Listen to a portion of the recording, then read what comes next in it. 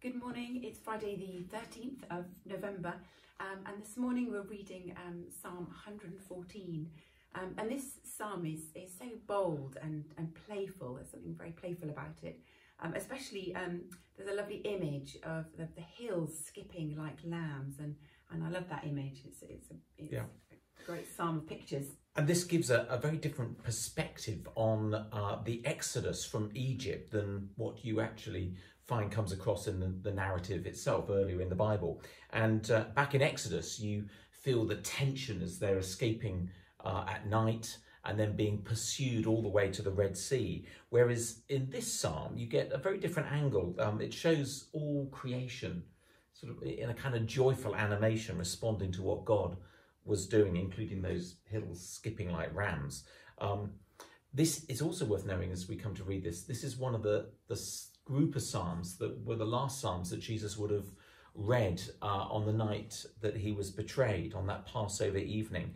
Um, and of course, we understand now the significance of what was unfolding in those moments as he prepared to bring about a far greater exodus and rescue than anyone could have imagined, um, which would be accomplished on the cross. So the, this psalm points us forward to that moment. So we're going to read Psalm 114. When Israel came out of Egypt, Jacob from a people of foreign tongue, Judah became God's sanctuary, Israel his dominion. The sea looked and fled, the Jordan turned back, the mountains leaped like rams, the hills like lambs. Why was it sea that you fled? Why Jordan did you turn back?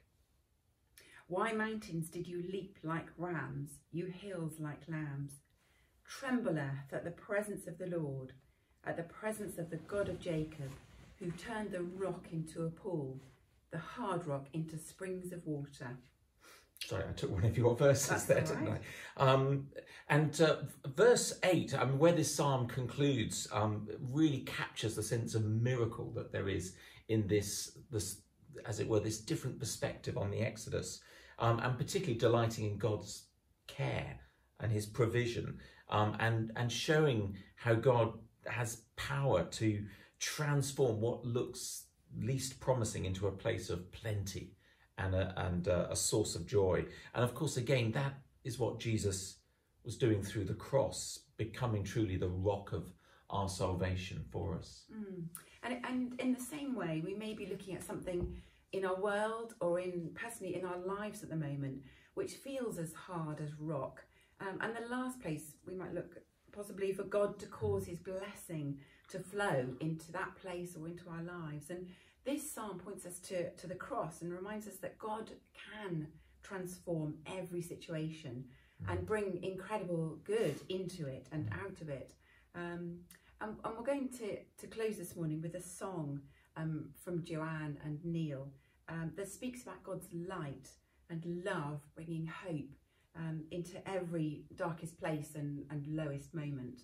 Yeah, so we're and we're thinking um, as we hear this song, not just of the challenges we face, but also those working in the NHS at the moment, watching those rates of infection that have gone uh, higher than expected yesterday, um, and just show how challenging things still are, even though we've had the uh, encouragement of progress with with one of the vaccines. Um, we know we're still in, in, in, a very difficult time for our nation, and we want to pray particularly for those uh, working on the front line and in the NHS. So thank you again to Joanne and Neil, and um, and whatever you're doing this weekend, may you know God's blessing.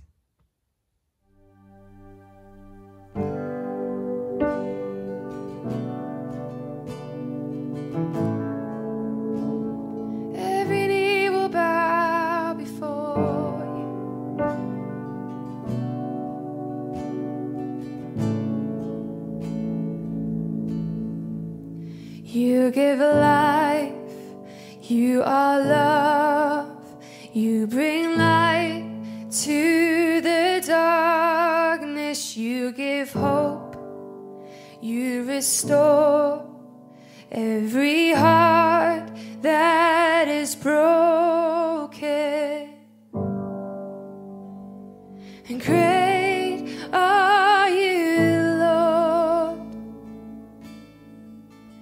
It's your breath in our lungs, so we pour.